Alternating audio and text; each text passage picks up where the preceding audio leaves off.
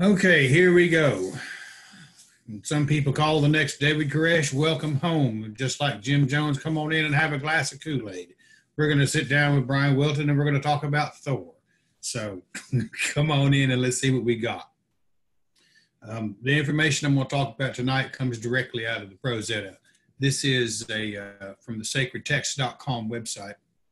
Um, it is the primary source for much of what we uh, much of what we talk about. I'm going to start with Thor. There was some reason it came to my mind tonight, and uh, trying to think about what I was going to talk about, and and that was the first one. Um, chapter 21 said, Then said Gangleri, What are the names of the other Aesir? Or what is their office? Or what deeds of renown have they done? It's a legitimate question. If we're going to place our faith in, in a set of beings, shouldn't we be looking for who and what they might be? If we're going to believe in people and, and think about try to emulate their success, shouldn't we have the courage to say, why should I be listening to that guy? Why should I be paying attention to this person? What has he achieved in this life? What have they done? Har answered, which means high. Thor is the foremost of them.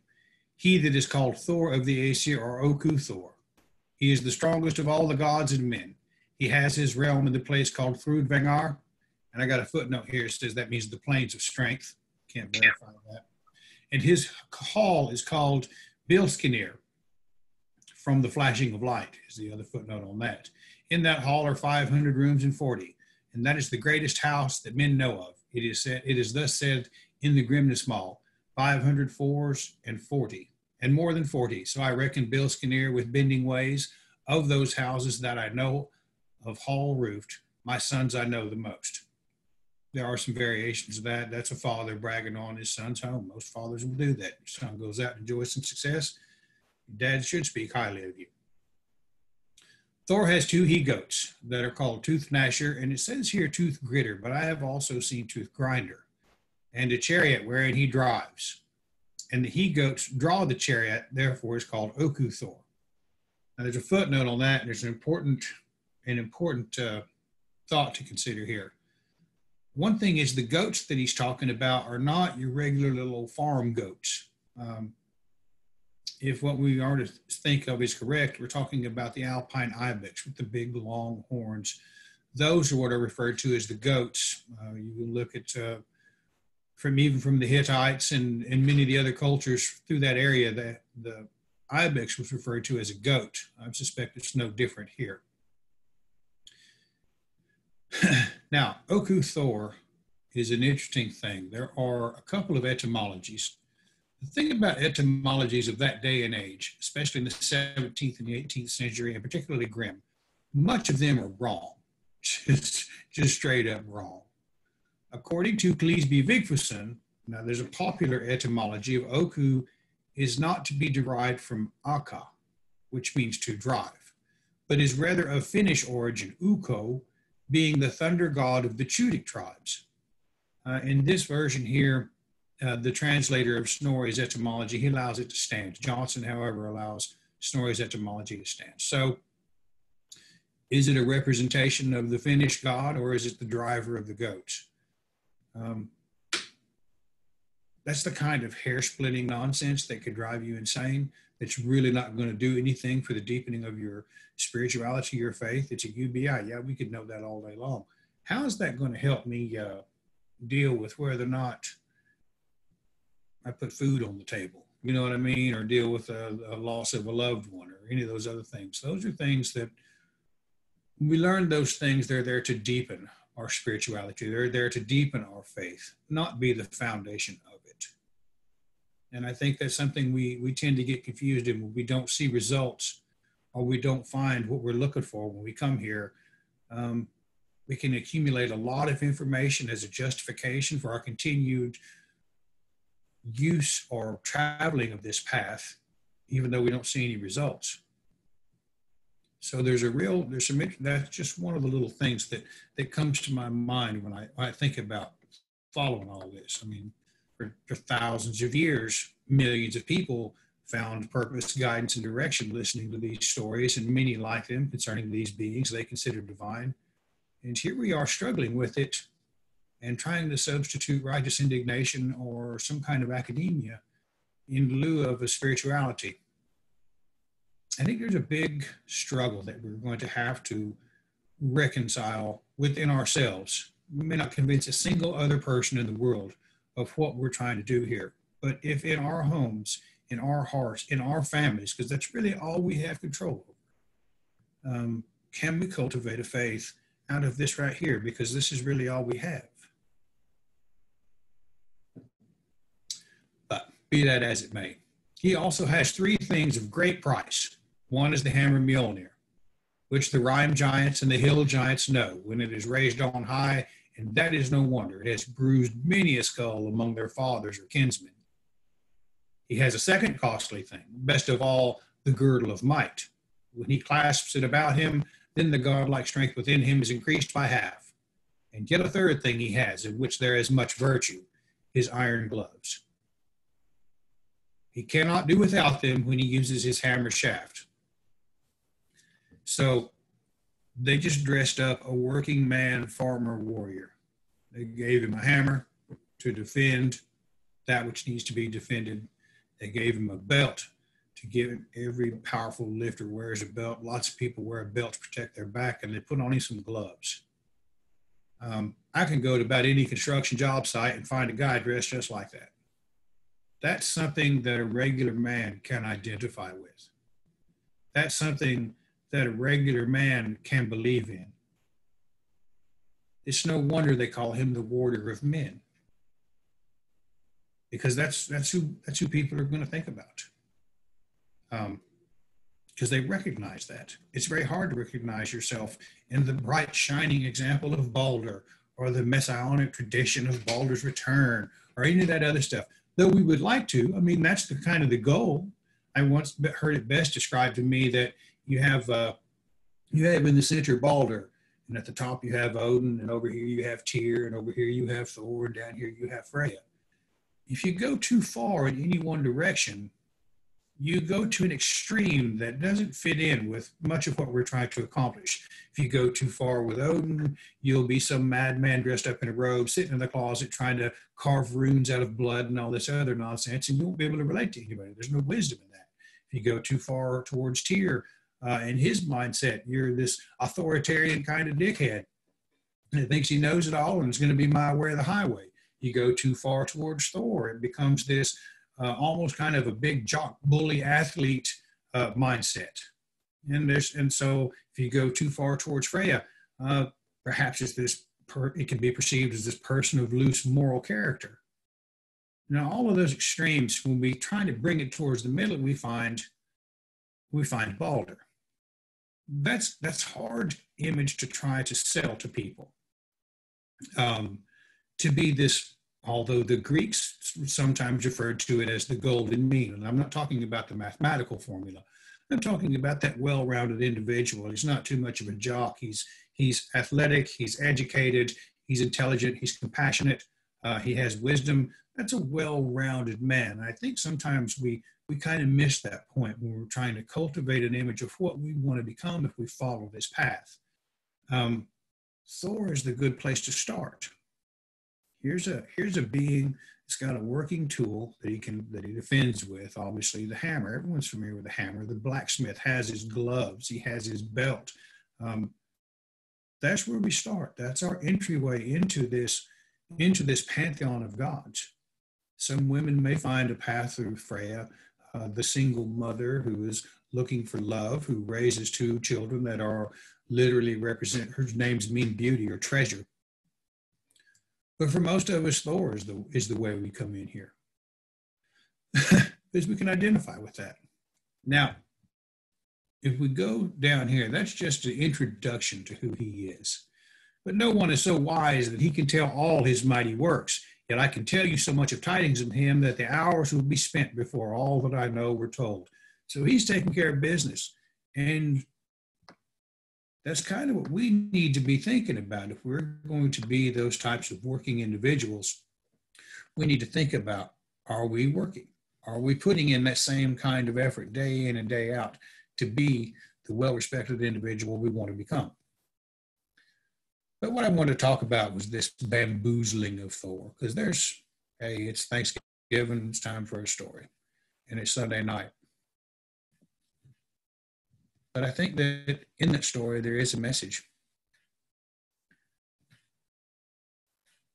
And it starts with a couple of kids.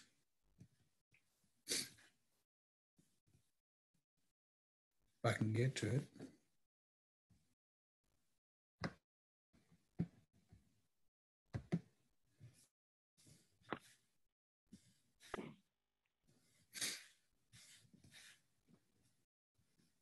Here it is.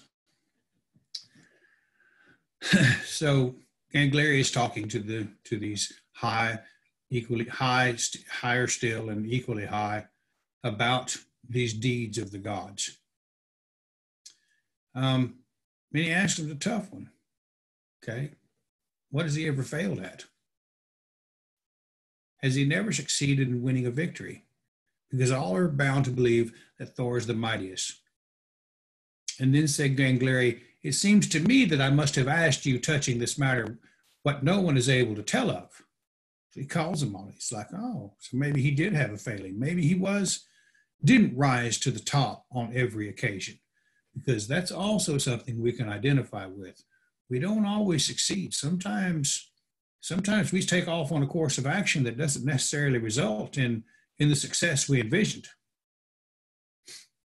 Then said Hafnar, we have heard say concerning some matters which seem to us incredible, but here sits one near at hand who will know how to tell true tidings of this. Therefore, thou must believe that he will not lie for the first time now, who never lied before. Gangleri said, Here will I stand and listen. If any answer is forthcoming to this word, but otherwise I pronounce you overcome, if you cannot tell that which I ask you. So he's challenging him he's throwing out a challenge. He's saying, look here, these guys ain't never lied before.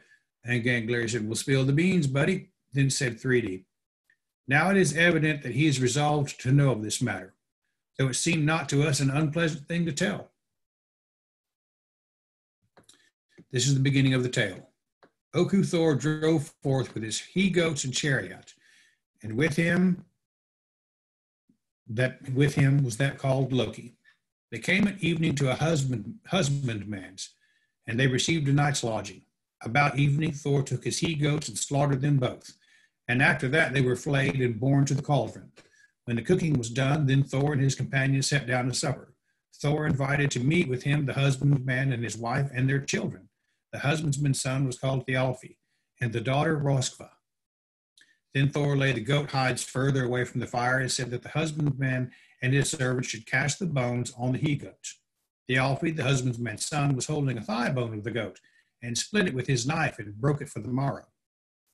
And there's a couple of versions of that tale, and one of them is that Loki whispered to him and said, I'd eat the best part of the of this meal.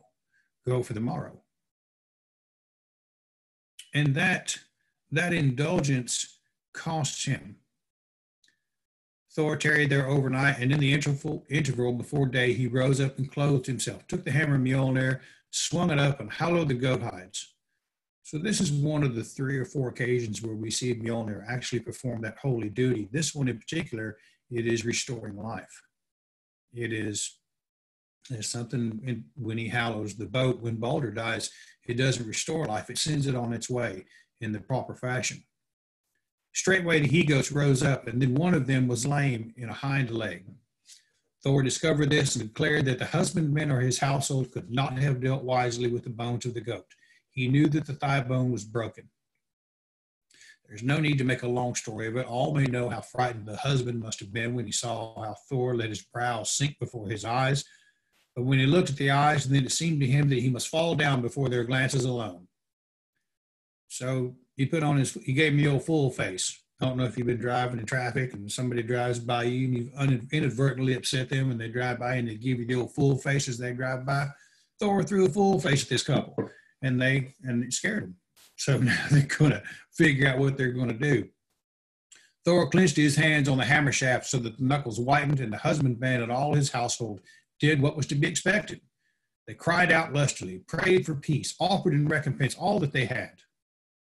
But when he saw their terror, terror, Then the fury departed from him, and he became appeased and took of them in atonement their children.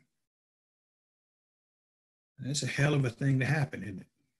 And it's one of the few times we see in, in our pantheon. You see it oftentimes in the Greek where the arrogance of some family offends the gods and the child is punished or someone's turned into a monster or turned into a flower or some kind of nonsense like that. Um, and this is one of the few times we see it here, and we see it from the warder of men of all places. It's kind of a reminder that as comfortable as we might feel, and I, you know, you see these basement dwellers sitting there um, having a beer with Thor, good buddy Thor, in their mother's basement on the couch. Um, there's something more to it. There's something a hell of a lot more to it. This warder of men is also has a terrifying aspect that we have to contend with. Um, that little indulgence in direct opposition to what these what this God has said. Hey, let's be wise about this. Don't break these bones. He did it anyway. So now the ideas of greed and ego and I ought to be unworthy to have this. It really doesn't matter. Um, now this family loses their children. And when you read the story about Loki whispering into the ear of that young man, telling him to go for it, it really does make sense that this ego is telling this Thialfi, who is one of the fastest runners of mankind, um, hey, I'm worth this. Well, sometimes we don't need to go overboard. Sometimes we just need to be grateful for what we have and enjoy it and see what happens after that. It's always that greedy aspect that, that suckers people in. And in this case, this family has lost their children. They gave them an atonement, Thialfi and Roskva, who then became his bond servants, and they follow him ever since. This was not an uncommon occurrence among the people of the North, if they, especially with regards to gambling. gambling was that the casting of lots was that idea of winning at the casting of lots. Means that there you were doing things right. Luck was on your side. Uh, you were living a right life. It was the surest expression that you were doing the you were doing what you were supposed to be doing. And they would get carried away with it. And when they lost they would go into an indentured servitude. They would become bond servants as in a, in a manner of speaking Thereupon he left his ghost behind and began his journey eastward toward Jotunheim and clear to the sea. And then he went out over the sea, that deep one. But when he came to land, he went up and with Loki and Thialfi and Roskva with him. Then, when they had walked a little while, there stood before them a great forest, and they walked all that day till dark. Thialfi was swiftest footed of all men. He bore Thor's bag, but there was nothing good for food, because he eats his goats. As soon as it had become dark, they, they sought themselves a shelter for the night and found them a certain hall, very great, and there was a door in the one end of equal width with the hall, wherein they took up quarters for the night. But about midnight there came a great earthquake. The earth rocked under them exceedingly, and the house trembled. Then Thor rose up and called to his companions, and they explored further and found in the middle of the hall a side chamber on the right hand, and they went in. Thor sat down in the doorway, but the others were farther in front in from him, and they were afraid. But Thor gripped his hammer shaft and thought to defend himself. Then they heard a great humming sound and a crashing. But when it drew near to dawn, then Thor went out and saw a man lying a little way from him in the wood. And that man was not small. He slept and snored mightily. Then Thor thought he could perceive what kind of noise it was which they heard during the night. He girded himself with his belt of strength and his divine power waxed, and on the instant the man awoke and rose up swiftly. And then it is said, the first time Thor's heart failed him to strike him with the hammer, he asked him his name. so Thor, at his most powerful, finds his heart failed him. And that would be quite a failing for the warrior of men, wouldn't it? To come across something so gigantic to seem unassailable to come up to a problem in life that seems to be so overwhelming that we don't think we have it within ourselves to handle what we've got to do. But we've got to give it a shot. We've got to give it a shot. He asked him his name, and the man called himself Skrymir. But I have no need, he said, to ask thee for thy name. I know that thou art Asa Thor, but what hast thou dragged away my glove? Then Skirnir stretched out his hand and took up the glove, and at once Thor saw that it was that which he has taken for a hall during the night. And as for the side chamber, it was the thumb of the glove. Skrymir asked whether Thor would have his company, and Thor assented to this. Then Skrymir took and unloosened his provision wallet and made ready to eat his morning meal, and Thor and his fellows in another place. Skrymir then proposed to them to lay their supply of food together, and Thor assented. Skrymir bound all the food in one bag and laid it in his own back. He went before during the day and stepped with very great strides, but late in the evening, Skrymir found them night quarters under a certain great oak. Then Skrymir said to Thor that he would lay him down to sleep, and do ye take the provision bag and make ready for your supper. Thereupon Skrymir slept and snored hard, and Thor took the provision bag and set about to unloose it. But such things must be told as will seem incredible. He got no knot loosened, and no thong in stirred, so as to be looser than before. When he saw that his, might, his work might not avail, then he became angered, and gripped the hammer Mjolnir in both hands, and strode with great strides to that place where Skrymir lay, and smote him in the head.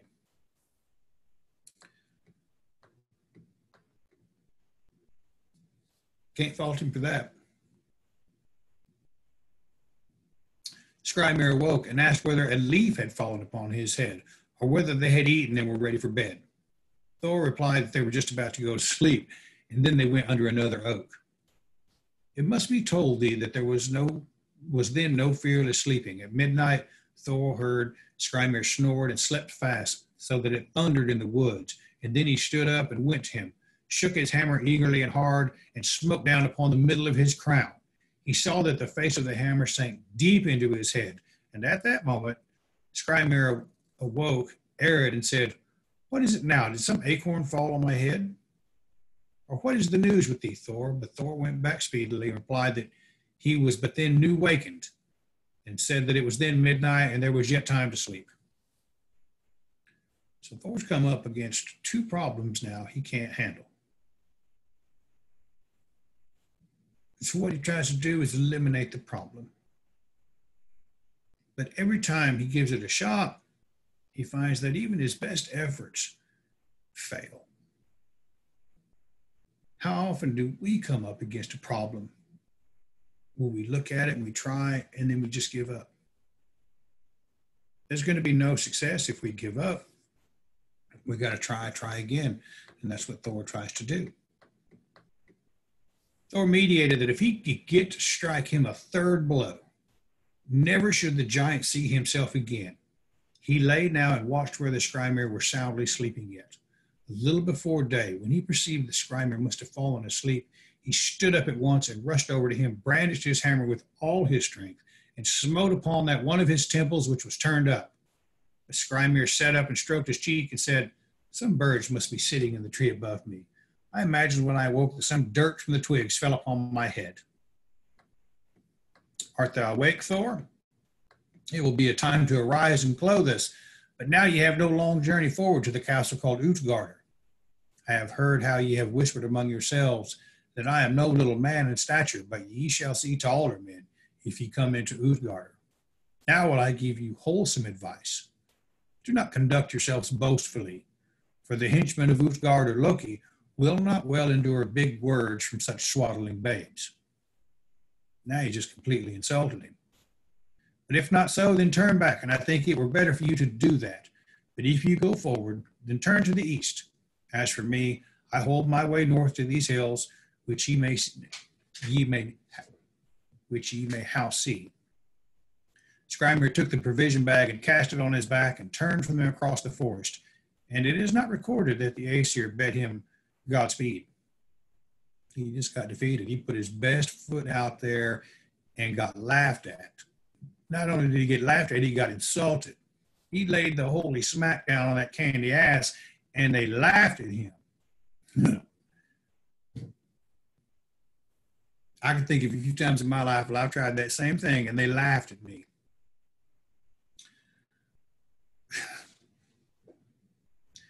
Thor turned forward on his way and his fellows and went onward till midday. Then they saw a castle standing in a certain plain and set their necks down on their backs before they could see up over it. They went to the cattle, and there was a grating in front of the castle gate, and it was closed. Thor went up to the grating and did not succeed in opening it, but when they struggled to make their way in, they crept between the bars and came in that way. They saw a great hall and went thither. The door was open, and they went in and saw there many men on two benches. Most of them were big enough. Thereupon they came before the king Utgard of Loki and saluted him.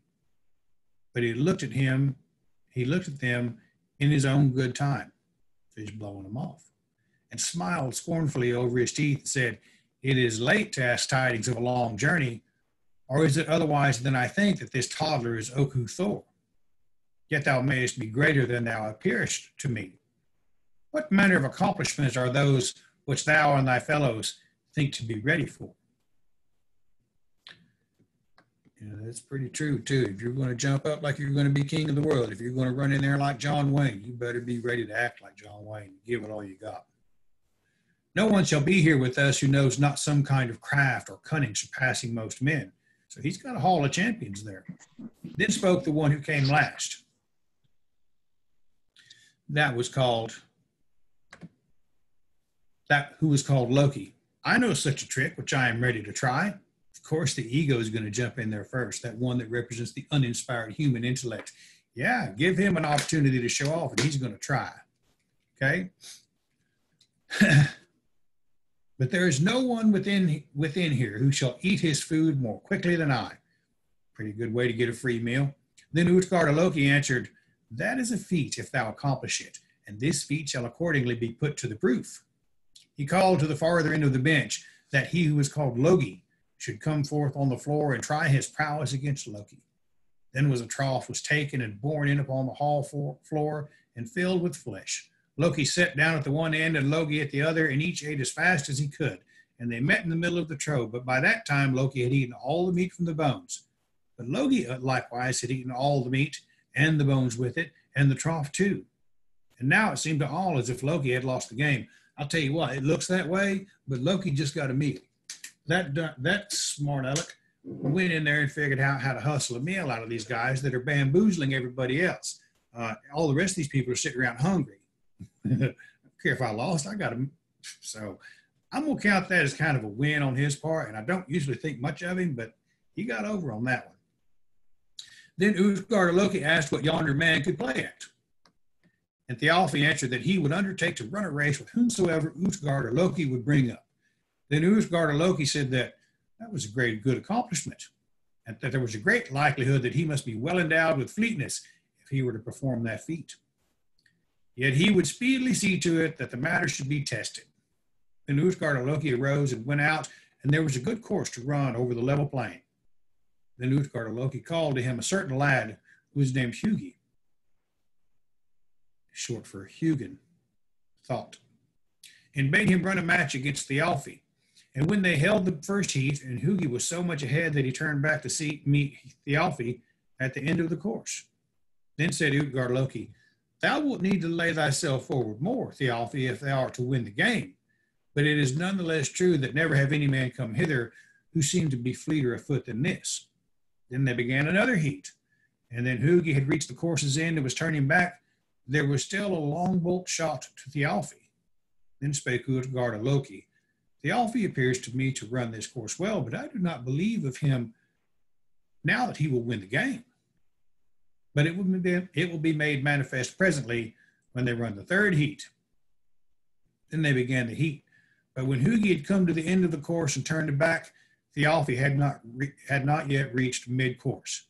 Then all said that the game had been proven. Next, Utgard Loki asked Thor what feats there were which he might desire to show before them. Such great tales of men have made of his mighty works. Then Thor answered that he would most willingly undertake to contend with any in drinking. It's kind of, here's hold my beer. So this is like a, a, a Nordic version of the redneck saying, hold my beer. Uh, and here we were off on it. Card Loki said that he, that might be well. He went into the hall and called a serving boy and bade him bring the scald's horn, which the henchmen were wont to drink of. Straightway the serving lad came forward with the horn and put it in Thor's hand. Then said Utgard Loki, It is held that this horn is well drained if it is drunk off in one drink. But some drink off in two, but no one is so poor a man at drinking that it fails to drain off in three. Thor looked upon the horn. It did not seem big to him, and yet it was somewhat long. Still, he was very thirsty, and he took and drank and swallowed enormously, and thought that he should not need to bend oftener to the horn. But when his breath failed, and he raised his head from the horn and looked to see how he had gone with the drinking, it seemed to him that there was very little space by which the drink was lower now in the horn than before. Off to a bad start. It's a bad sign, buddy. Then said Utgard Loki, It is well drunk, and not too much. I should not have believed if it had been told me that Asa Thor could not drink a greater draught. But now thou wilt wish to drink it off in another draught. So he's telling you, you got a second chance. Regu- regular people get it in two drinks. You, we'll, we'll deal with you. Thor answered nothing. He set the horn to his mouth, thinking now that he should drink a greater drink, and struggled with the draught until his breath gave out. And yet he saw that the tip of the horn would not come up so much as he liked. When he took the horn from his mouth and looked into it, it seemed to him as if it had decreased less than the former time. But now there was clearly apparent lowering in the horn. Then said Utgard Loki, How now, Thor, thou wilt not shirk from one more drink, then may he well for thee. If thou if thou now drink the third drop from the horn, it seems to me as if this must be esteemed the greatest, but thou canst not be called so great a man here among us as the Aesir call, call thee. So he just telling him, look, you, you might be great among these fellas, but you come over here, you, you really ain't anything. Um, I remember being fairly prominent in my unit. And when I went to the Special Forces Assessment and Selection course, and I'm on a five, timed five mile run, I remember looking up at all of these other individuals and realizing I'm giving it 110%. I'm just middle of the pack. Uh, that's a hard thing to deal with for somebody that's pretty proud of what they've done and what they've accomplished to realize, hmm, I'm really just kind of average. But how we deal with that is even more important.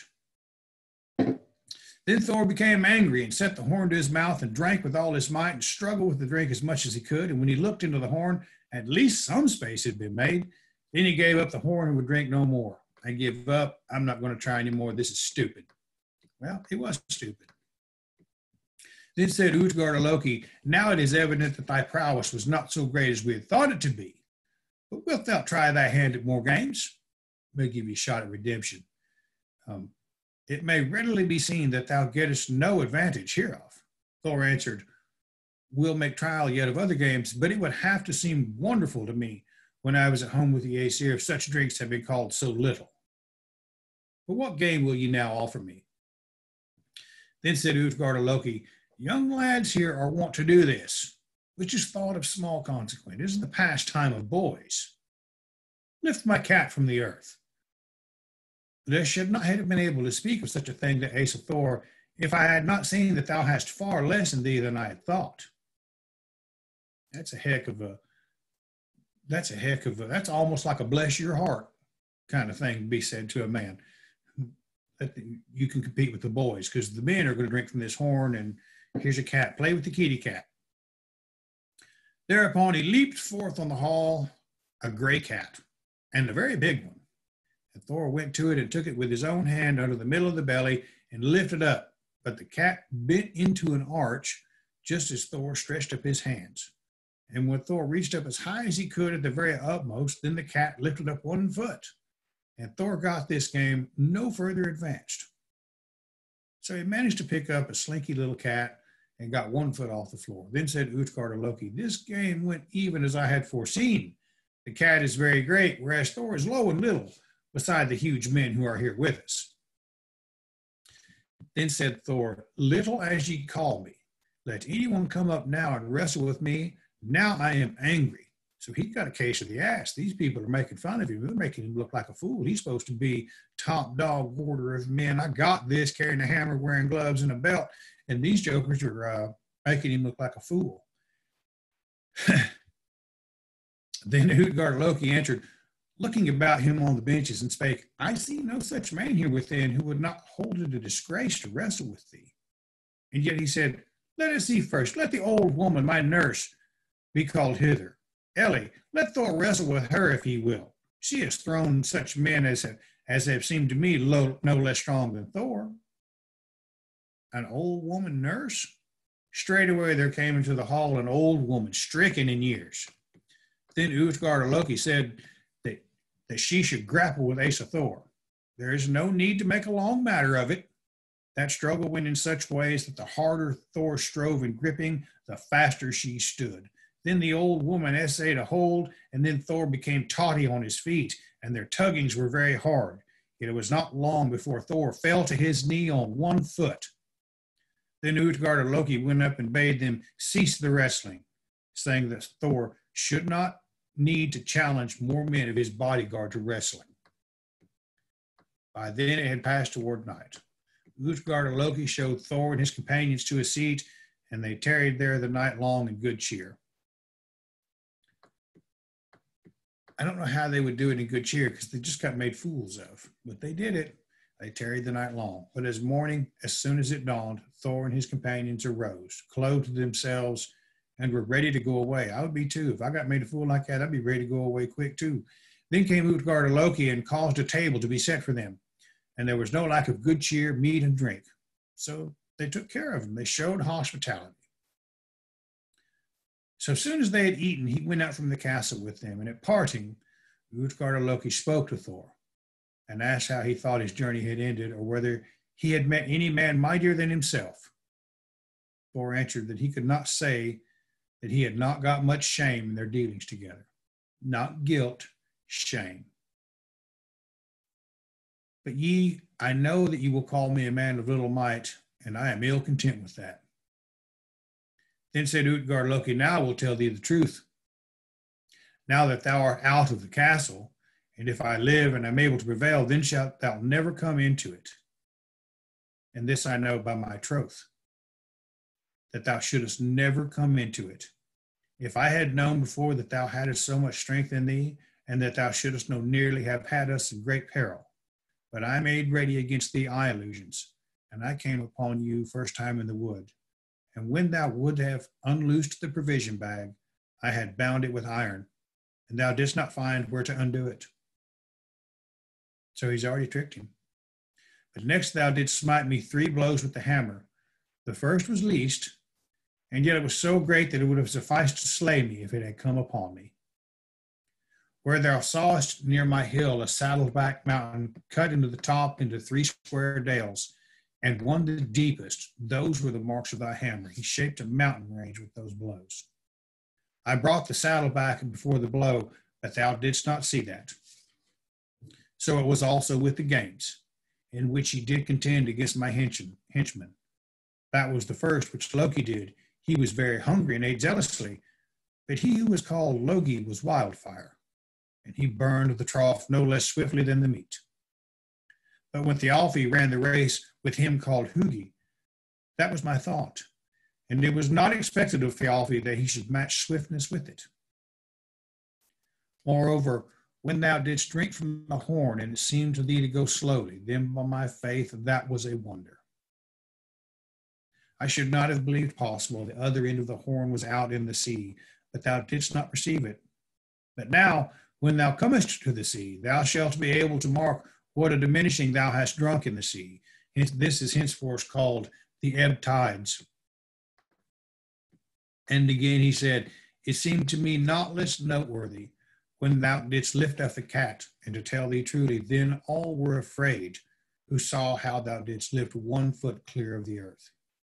That cat was not as it appeared to thee. It was the Midgard serpent, which lies about all the land and scarcely does its length suffice to encompass the earth with head and tail. So high didst thou stretch up thine arms that it was but a little way more to heaven. And it was a great marvel concerning the wrestling match. when thou didst withstand so long and didst not fall more than on one knee wrestling with Elli, since none, none such has ever been, and none shall be, if he becomes so old as to abide old age, that she shall not cause him to fall. And now it is truth to tell that we must part, and it will be better on both sides that ye never come again to seek me. Another time I will defend my castle with similar wiles or with others, so that ye shall get no power over me.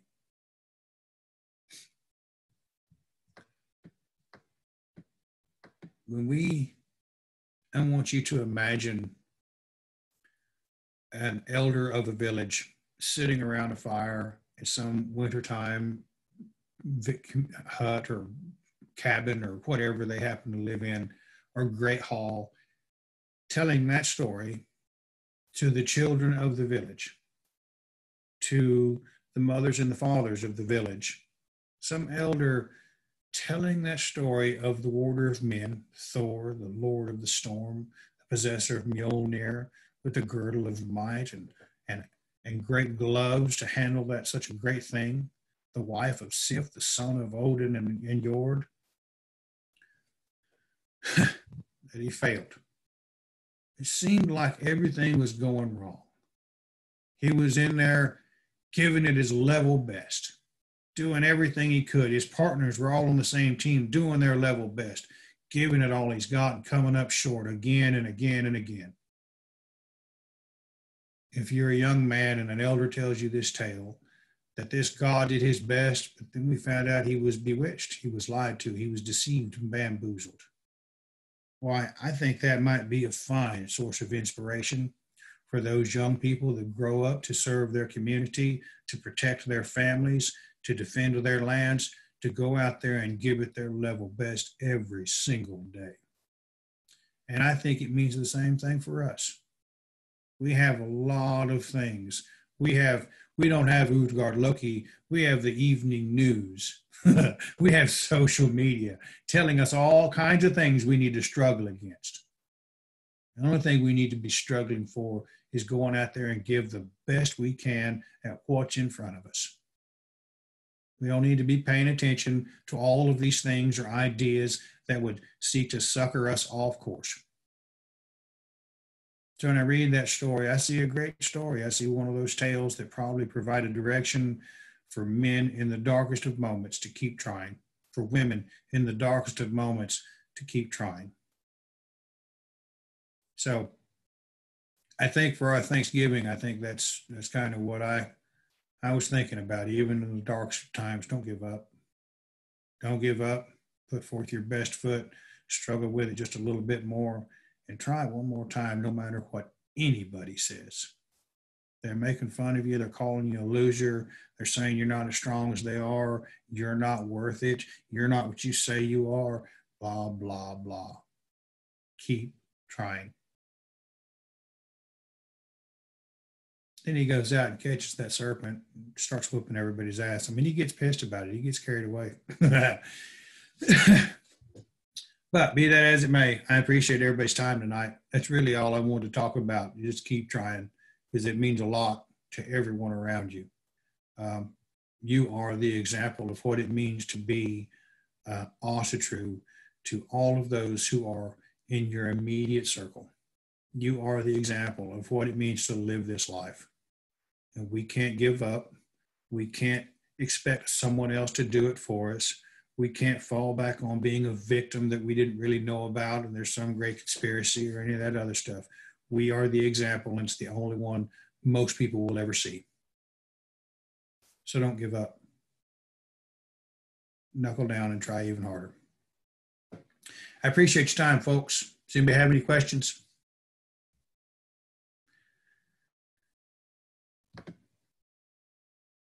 Nope. Okay. Hey, thank you very much, Bryan. I appreciate it. You're welcome, man. Thank you for joining in. I appreciate it. All right, folks. I appreciate everybody coming in. I'm going to stop the recording and I'm going to